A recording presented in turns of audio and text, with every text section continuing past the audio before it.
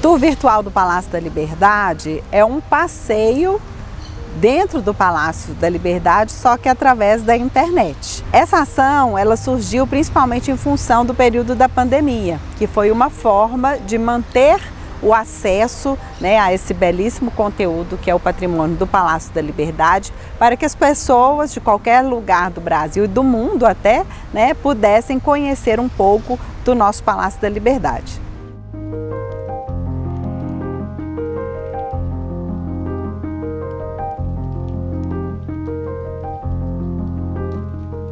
Através dessa série audiovisual, é, o público chega um pouco mais perto né, dos elementos decorativos, das obras é, que estão no Palácio da Liberdade, sem tocar, né? Mas é uma oportunidade, sim, de, de, conhecer pequenas histórias, histórias por trás da própria construção do palácio, das obras que nós temos dentro do, do patrimônio também.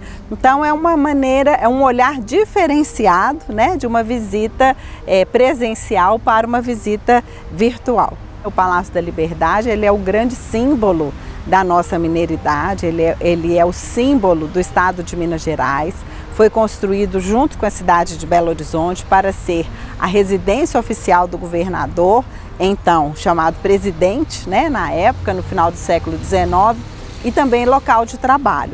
E nestes últimos anos, né, o nosso governador Romeu Zema é, designou que o Palácio da Liberdade seria a grande casa da cultura e da nossa mineiridade.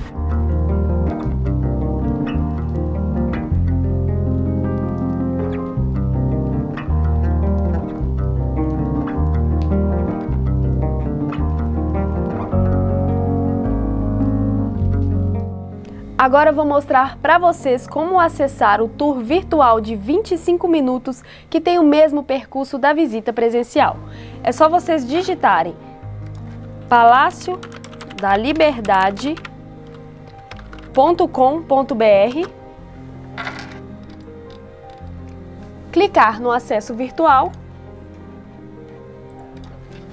e pronto, você já tem acesso a todas as preciosidades do Palácio da Liberdade.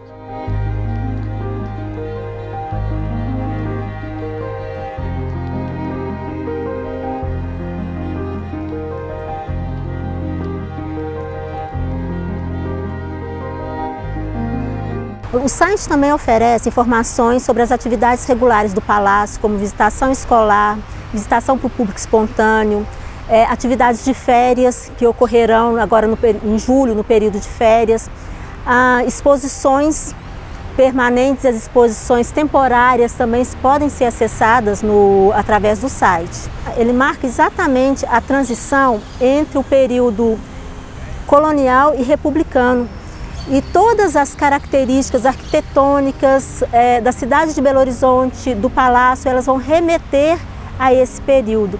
Então, essa tecnologia virtual é muito importante para expandir o palácio além de seus próprios muros.